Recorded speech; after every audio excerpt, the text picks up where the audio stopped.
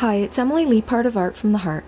This is the second video in my die versatility series for paper smooches. In this video, I will focus on the cupcake dies and paint palette dies. I'm going to use them in combination on two very different cards. The first idea is based on a card I made back in the fall for a neighbor's daughter who turned two.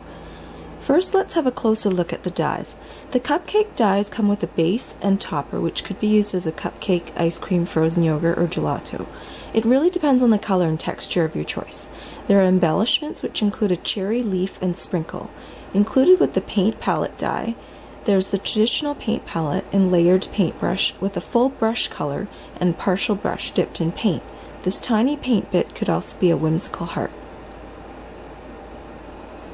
For my first card, I'm starting with a kraft base, and I've trimmed two mats from Crate Paper's DIY Shop 6x6 paper pad.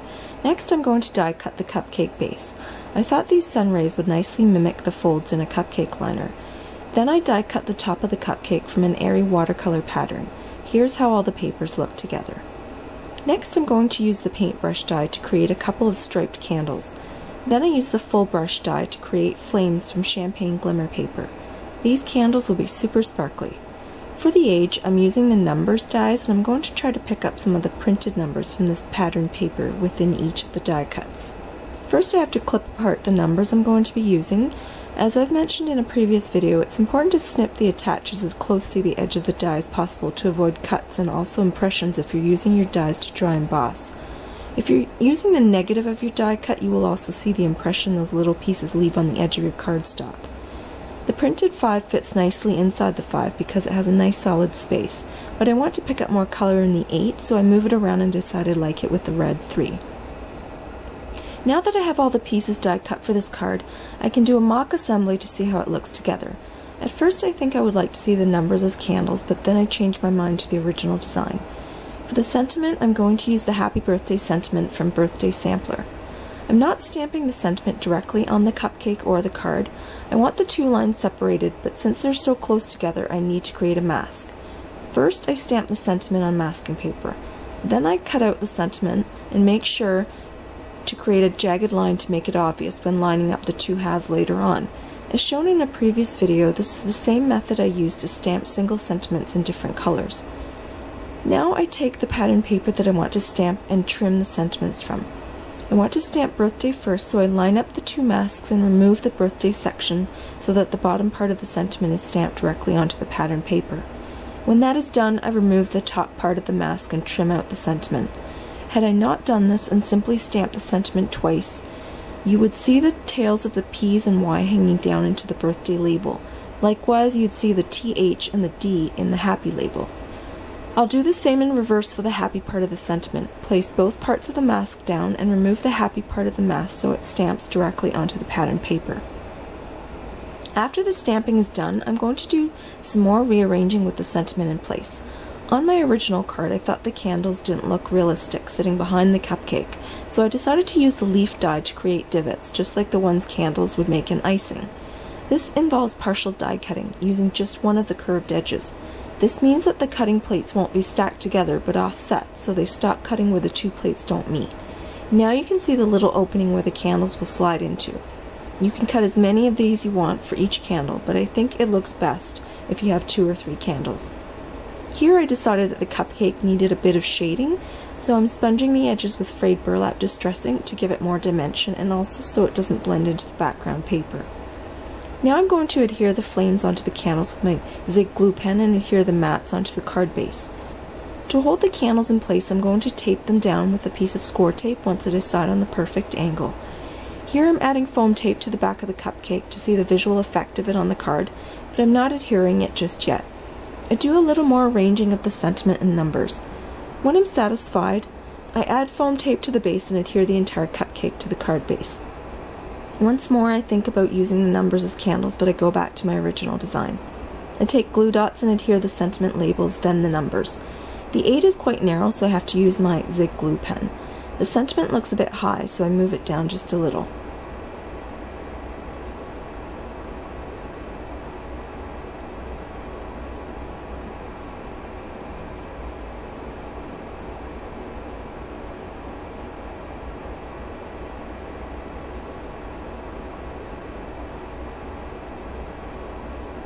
For my second card, I'm taking the cupcake die and turning it upside down to use as a head. I'm die cutting it from Bazzill Buttermints. If anyone knows of a more fleshy colored cardstock, I'm all ears. Next, I'm going to make two hair pieces by die cutting the cupcake again twice in brown. You can, of course, use the hair color of your choice. To create the hair, take the die cut piece and flip it upside down. Insert it back into the die so that the outer two pieces catch the edge of the die and sit as snugly against it as possible. Then run it back through your die cut machine. You end up with a bunch of hair, or a long cloud, since you could totally use it that way. Now, if you layer the pieces together, you can start to imagine a person. I just want to point out the two little imperfections that you'll end up with. These are easy to snip off, and I'll do that later. I place the hair slightly above to show a bit of the ears. Then I take the paintbrush die and cut that twice to create pigtails. I'm going to use the sunny side up stamp set to create the face. There are a couple of different options for eyes and a mouth.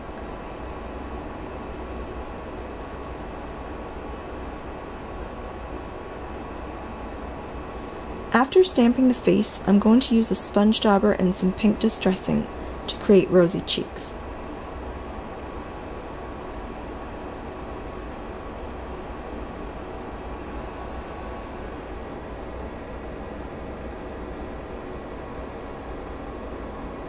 When that's done, I can adhere the layers of hair to the head. I snip off those two little imperfections and adhere the top layer of hair with foam tape. Next I'm going to tie some natural ribbon around the brush handles to act as hair bows. I adhere micro glue dots to the front and back of the handle so the trim doesn't move.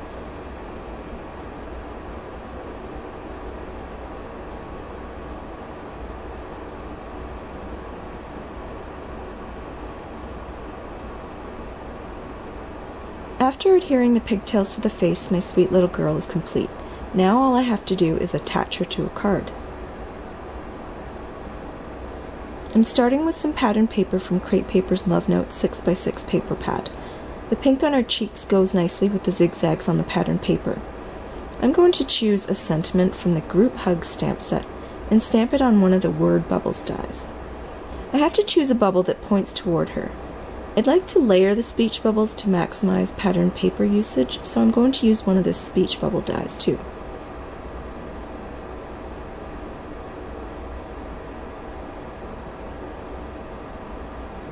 Now my sentiment has to fit inside that top word bubble. I decide that one of the longer ones fits the style of the card better, so I'm going to mask off the two halves and stamp it stacked instead of on a single line. I use washi tape to cover up the part that I don't want stamped. then I do the reverse to stamp the top line.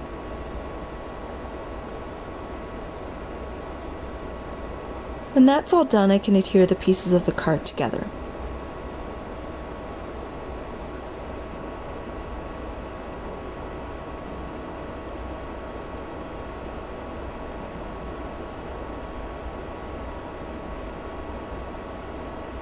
I want a bit of sparkle, so I'm going to give the girl diamond earrings. The last thing I need to do is adhere this to a card base.